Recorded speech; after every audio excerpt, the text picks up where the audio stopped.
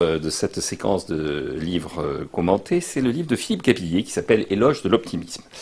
L'idée de Philippe Gabillet, c'est de réhabiliter les optimistes. Euh, en général, l'optimiste est souvent présenté par la littérature ou par le sens commun comme étant un personnage plutôt un peu bené, un peu naïf et un peu le perdant de l'histoire. Et Philippe Gabillet a publié ce livre il y a maintenant un peu plus de huit mois sur le thème, en réalité, c'est les optimistes qui font bouger le monde, ce sont eux qui sont les porteurs de l'avenir.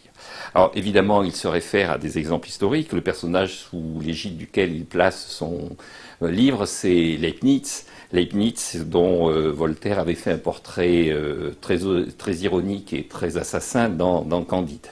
Et donc Philippe Gabillet dit en fait c'est très injuste à l'égard des optimistes, car ce sont les optimistes qui construisent l'avenir. En fait, il cite à un moment donné Romain Roland en disant qu'on est pessimiste par intelligence, mais on est optimiste par volonté. Et donc l'optimiste, c'est celui qui est actif, porteur d'un message et porteur donc d'une volonté. Alors le livre est à la fois humoristique, il y a des passages qui sont écrits de façon très alerte, aussi très sérieux sur le fond. Il montre combien effectivement avoir un esprit positif, ça vous incite à avoir une vision positive donc de l'avenir et à vous pas rejeter dans l'avenir, donc à construire quelque chose de nouveau.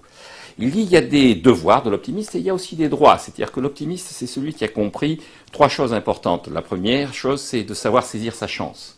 L'optimiste, c'est celui qui se précipite sur l'événement et qui sait saisir toutes les opportunités. La deuxième chose, c'est que l'optimiste, c'est celui qui sait se contenter de la réalité, c'est-à-dire celui qui accepte la perfection.